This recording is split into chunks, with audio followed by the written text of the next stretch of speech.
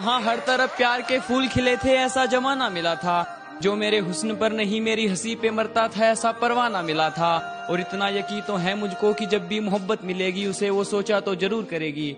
कि इस फरेबी दुनिया में एक सच्चा दीवाना मिला रुला के गया इश्क तेरा, रुला के गया इश्क तेरा, के माने नहीं दिल मेरा।